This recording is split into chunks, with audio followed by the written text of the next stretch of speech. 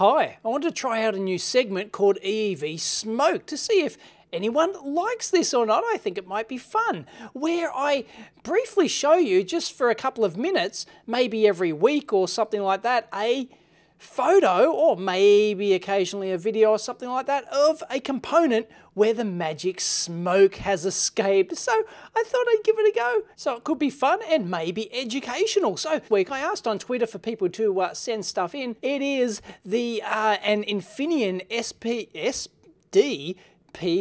06S60. It's a um, silicon carbide Schottky diode. It's the world's first 600 volt Schottky diode and it's in a TO220 uh, package but it's in a weird ass dash 2 dash 2 package which uh, chops out the middle pin there to get the voltage spacing required between these two pins here and then it just shorts out the others because the center pin goes off to the uh, tab here to pin one, a revolutionary semiconductor material, silicon carbide, woohoo! And it's a fantastic looking diode and let's see what happened to this poor thing. So the first cab off the rank is uh, Joseph Smythe? Smith?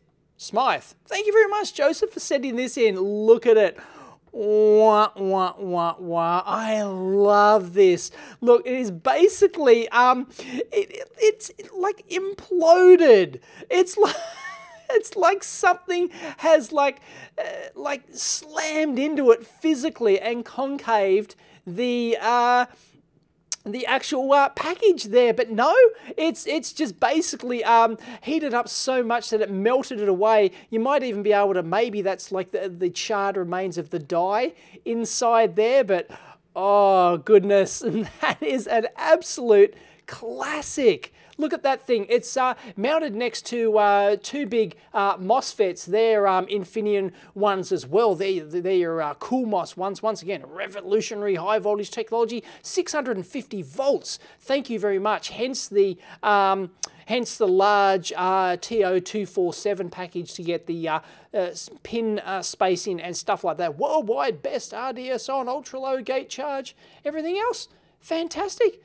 But look at that, they're, uh, they're mounted onto a large heatsink there with uh, that sort of greenish kind of stuff is going to be um, some thermal, uh, thermal adhesive uh, pad kind of thing. Because oh look there's no screws actually uh, bolting these things on. So they're just basically uh, stuck onto there. And it's just imploded. I love it. Look at these solder joints down the bottom here by the way Take a squiz at those. There's no uh, solder fillets coming up through the bottom side, so I don't like that. That's a bit how you're doing, because if you want uh, current to pass from the solder joint on the bottom side to the top side, where you can see the traces going off here on the top side, then hey, it's got to go all through the thin walls and over the edges of the uh, of that pad there. So yeah, that's not too terrific. We're going to fill it over there, but yeah, but that's not the reason for the failure. So that must have been a gross overload. So if you haven't actually have a look at this thing, here we go, IF Max.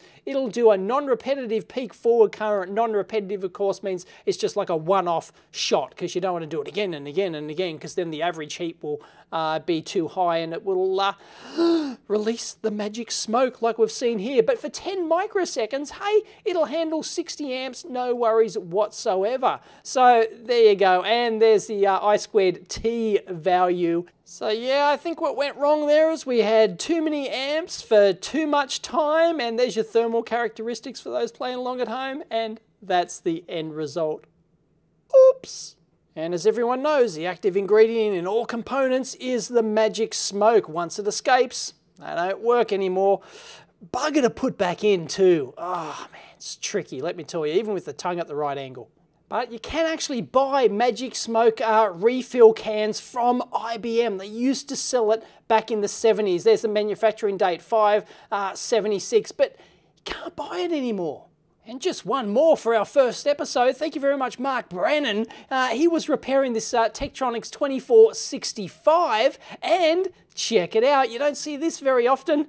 Wow, look at that. It's an X uh, class cap, X2 class cap, like fully rated, like proper one. Look at all the ratings on there and it has just burst in half. Look at that. The Magic Smoke has definitely escaped from that. I mean, these are mains rated proper caps. They've got self-healing uh, properties in them, and these are designed for this sort of application. So whether or not it was just age or whether or not it was just a gross surge, um, you can actually see down the bottom here, you can actually see a spark gap. Um, that's what that uh, metal can uh, there is. So that's actually, um, maybe it uh, did its job and stopped some of the transient, but there doesn't seem to be anything else uh, damaged there. But wow, I've never seen one of those X-Class caps uh, just had the guts spewed out of it and the magic smoke like that escape before. Those things are usually pretty darn good caps.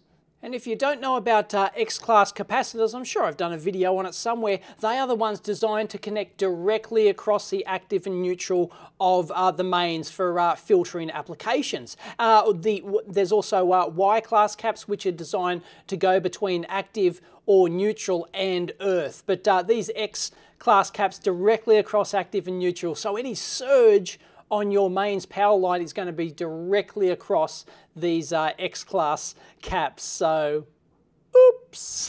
So I hope you enjoyed that short news segment. If you did, give it a thumbs up. If you didn't like it, you think it's just a waste of time and it's boring as bat poo, give it a thumbs down or leave your comments and go meh if you want to see it on a separate channel or something like that, i.e. you love this sort of stuff and you only want to subscribe to this sort of stuff. I don't know, maybe I can do that too. But anyway, that's the first EEV smoke segment. I thought it'd just be fun to showcase stuff. So if you do have anything to uh, send in, it must be naturally escaped smoke. None of this bullshit about, you know, hooking, deliberately hooking mains up and destroying, frying leads and stuff like that. None of that rubbish. No, we want naturally escaped uh, smoke with good close-ups like this one.